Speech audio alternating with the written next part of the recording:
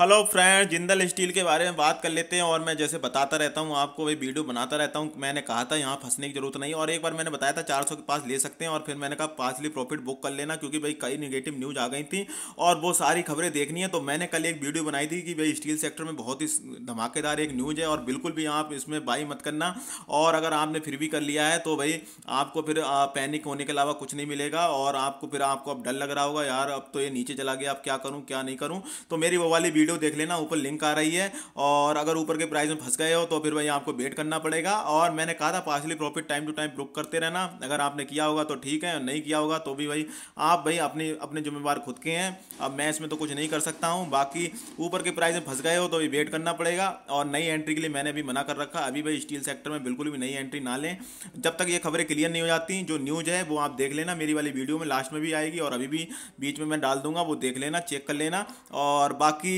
अभी नई एंट्री लेने की जरूरत नहीं है और बाकी वीडियो को लाइक कर देना इसको चैनल को सब्सक्राइब कर देना जय हिंद दोस्तों